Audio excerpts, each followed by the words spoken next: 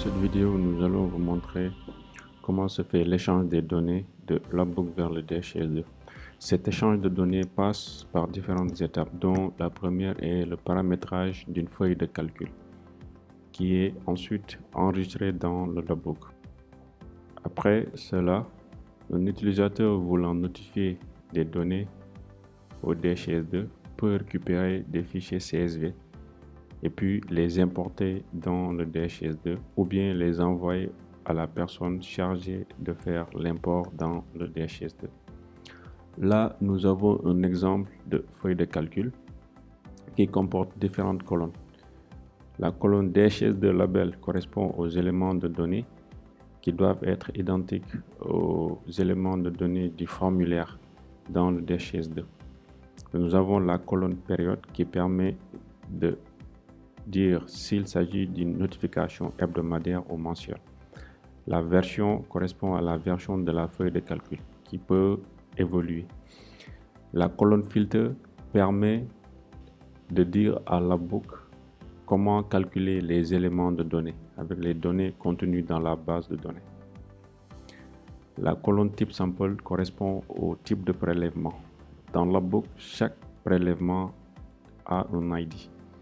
Là, nous avons le type de prélèvement 100, dont l'ID est 138.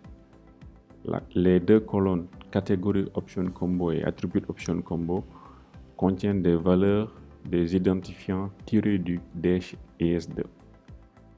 La colonne org unit correspond à l'unité d'organisation dans le DHIS2. La colonne stored by correspond au nom de l'utilisateur qui est utilisé ici pour faire l'import des données dans le DHIS2. Une fois votre feuille de calcul paramétrée, elle doit être enregistrée dans le logbook. Nous, nous sommes connectés avec le compte biologiste. Dans le menu paramétrage, configuration DHIS2, allez enregistrer donc notre euh, feuille de calcul euh, paramétrée. Donc il s'agit de la feuille sample test. Je clique sur la feuille de calcul puis ouvrir. Nous pouvons de ce fait l'enregistrer notre feuille de calcul est bien enregistrée. Maintenant, dans le logiciel Logbook, nous avons créé un dossier patient, test, et dans ce dossier patient, nous avons ajouté deux analyses, le paludisme, donc recherche de plasmodium, et nous avons une deuxième analyse VIH, recherche des assais anti-VIH. Pour la goutte épaisse, donc le paludisme, nous avons renseigné les résultats. L'espèce PL falciparum, goutte épaisse, nous avons dit que c'est positif. Concernant le résultat VIH, nous avons dit que le résultat est VIH2 positif. Regardons maintenant les résultats qui seront obtenus lorsque le, fichier de résultats DHIS2 est récupéré. Allons à rapport export DHIS2. Nous voulons récupérer les données pour la semaine du 22 au 28. Nous pouvons sélectionner notre feuille de calcul. Il s'agit de la feuille de calcul Sample Test. Nous cliquons maintenant sur Récupérer les données. Dès que nous cliquons sur ce bouton, un fichier est généré. Il s'agit d'un fichier CSV. Et voilà, nous avons notre euh, fichier de résultats qui est bon pour être importé sur le DHIS2. Mais regardons d'abord les valeurs récupérées. Pour VIH2, si vous vous rappelez, dans notre dossier patient, on avait renseigné comme résultat VIH2. Donc, il nous dit que il y a un résultat VIH2 sur cette semaine. Et pour le paludisme, pour l'espèce, nous avons renseigné PL falciparum. Donc, il nous dit qu'il y a un résultat PL falciparum pour cette période. Paludisme, nous avons euh, dit que euh, le résultat est positif. Donc, du coup aussi, il nous a calculé E comme étant le résultat du nombre euh, de cas de paludisme pour cette semaine. Pour les cas de paludisme négatif, nous n'en avons pas, donc il nous a mis 0. Donc nous avons là donc un exemple de de résultat des HIS2 qui est bon pour être importé dans le DHIS2. Connectons-nous sur notre DHIS2. Donc là, je suis déjà connecté et euh, nous avons donc euh, l'unité d'organisation neutre. le formulaire s'appelle données laboratoire et j'ai sélectionné la semaine du 21. Donc on voit bien que il n'y a aucune donnée saisie sur ce formulaire là. Maintenant, allons à au module import importer. Cliquons sur importer. Puis nous pouvons cliquer sur data import. Dans data import, la première chose à faire est de sélectionner notre fichier de données. Notre fichier de données est là, c'est le DHIS2 sample test. Le format du fichier, on a un format de type CSV. La première colonne de notre fichier correspond à l'entête. Donc, first row is here, yes. Maintenant, il y a différentes stratégies d'import. Nous pouvons sélectionner juste les, stratégies par défaut. Et dans Options avancées, pour Data Element, nous avons UID, code et name. Nous avons euh, nommé donc euh, nos éléments de données par leur nom et les unités d'organisation aussi nous les avons définis avec leur nom. Donc pour UID, pour ID schéma, on laisse par défaut UID. Nous pouvons maintenant cliquer sur importer. Donc là, il nous dit que créer 4, deleted 0, ignorer 0, update 0, total 4. On voit bien que notre fichier de résultats comporte 4 lignes. Et toutes ces lignes ont été importé dans le DHIS2. Regardons maintenant si l'import s'est bien déroulé. Allons à saisie de données. Sélectionnons ensemble de données. Il s'agit du formulaire données laboratoire et sélectionnons la semaine du 21. Donc là, nous pouvons aller sur paludisme. Donc on voit bien que les données ont été importées pour le paludisme. Total négatif 0, total positif 1, PL falciparum 1.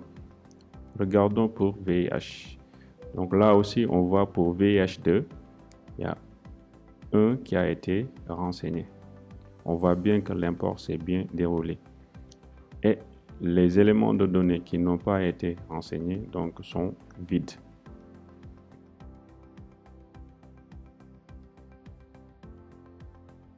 Dans cette deuxième partie de notre vidéo, nous allons voir comment envoyer directement des données vers le DHS2. Depuis le lancement de l'APO 3.4, en plus de l'exportation manuelle, il est maintenant possible d'envoyer des données agrégées directement vers un serveur DHS2. Pour envoyer des valeurs de données, l'APOC lance une requête POST à la ressource API Data Value Set. L'envoi de la requête à l'API nécessite une authentification.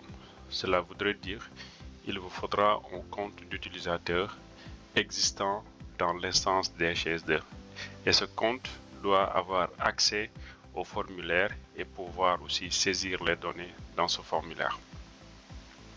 Connectons-nous en tant que biologiste ou administrateur sur notre logiciel Labbook. Sur le menu paramétrage, sur configuration DHS2, vous pourrez ajouter toutes vos instances ainsi que les identifiants permettant de se connecter à ces instances. Cliquez sur le bouton Ajouter.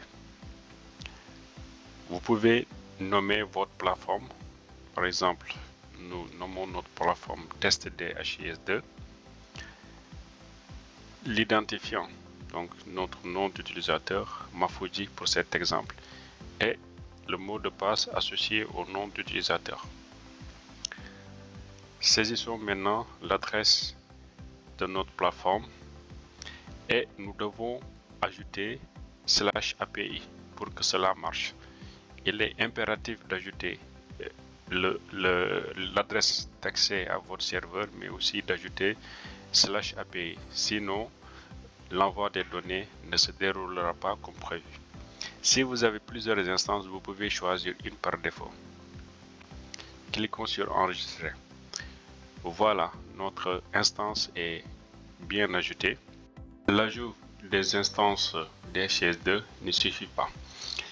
Il faut maintenant dire à la boucle quelles sont les données à envoyer. Ceci se fait à travers les feuilles de calcul. Comme dans l'espoir manuel, des feuilles de calcul doivent être élaborées euh, et enregistrées dans Logbook. Voici un exemple de feuille de calcul. Vous remarquerez que les, les éléments de données sont identifiés par leur identifiant, leur ID ainsi que les unités d'organisation. Vous retrouvez toujours euh, la colonne type sample dont les ID correspondent euh, au prélèvement ainsi que la colonne filtre qui permet de dire à quelles sont les valeurs à compter dans la base de données. Une fois avoir configuré votre feuille de calcul, cliquez sur le bouton Choisir un fichier et sélectionnez votre feuille de calcul pour l'enregistrer dans la base Labbook. Nous avons notre feuille de calcul test API DHS2 qui est bien enregistré. L'envoi des données se fait dans le menu rapport export DHS2. Sélectionnez la période de notification Là, euh, dans notre exemple, il s'agit d'une notification hebdomadaire. Donc, pour tester, nous pouvons sélectionner euh, la semaine du 9 septembre au 15 septembre. Il s'agit bien euh, ici d'une notification hebdomadaire, donc nous sélectionnons hebdomadaire.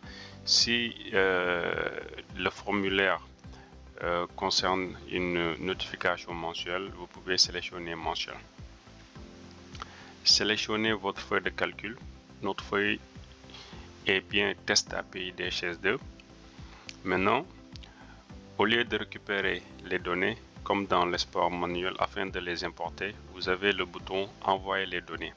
Avant d'envoyer les données, vous pouvez cliquer sur, euh, vous pouvez cocher l'option tester afin de, simuler un envoi sans que les données soient enregistré dans la base de données DHS2.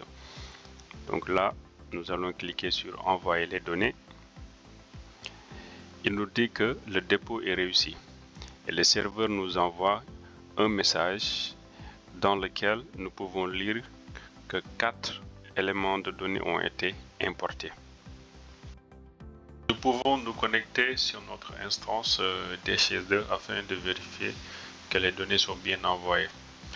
Sélectionnons notre unité d'organisation. Bien sûr, euh, il doit s'agir de l'unité d'organisation qui est mappée sur notre feuille de calcul. Sélectionnons euh, le formulaire ainsi que la période de notification. Sur l'exemple, il s'agit du 9 au 15 septembre. Nos éléments de données euh, sont des éléments de données du paludisme. Nous voyons bien que les quatre éléments de données les valeurs des quatre éléments de données sont renseignées et elles sont toutes égales à 0. Ce qui est vrai car dans notre base Labbook, nous avons qu'un seul dossier enregistré à la date du 20 septembre. Il n'y a, aucun dossier enregistré sur euh, la période du 9 au 15 septembre, ce qui explique le fait que les valeurs des éléments de données soient toutes égales à 0 sur la période du 9 au 15 septembre. Merci d'avoir suivi cette vidéo.